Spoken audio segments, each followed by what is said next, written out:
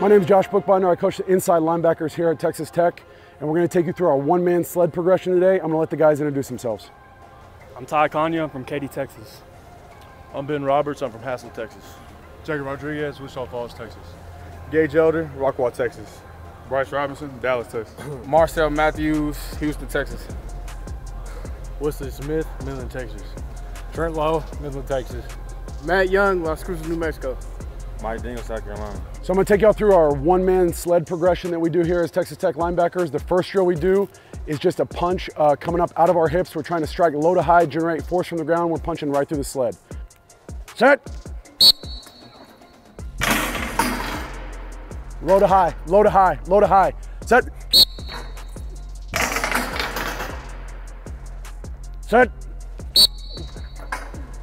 Good. Good. Generate force from the ground. Low to high. Set. Good. Set.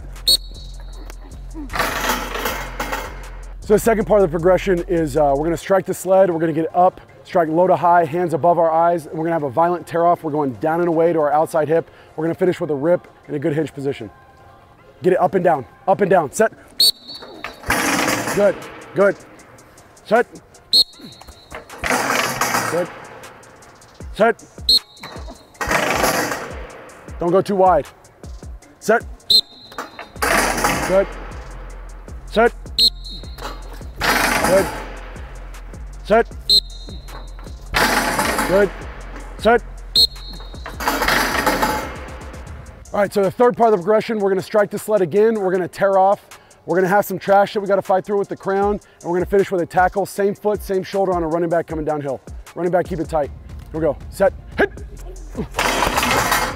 Good. Good. Drive. Finish. Good. Set. Hit. Good. Drive. Good. That's a good rep. Set. Hit. Drive. Drive. Drive. Good. Set. Hit. Drive. Good. Good rep. Good. Set. Hit. Good. Running back. Go downhill. Set. Hit. Come on. Good.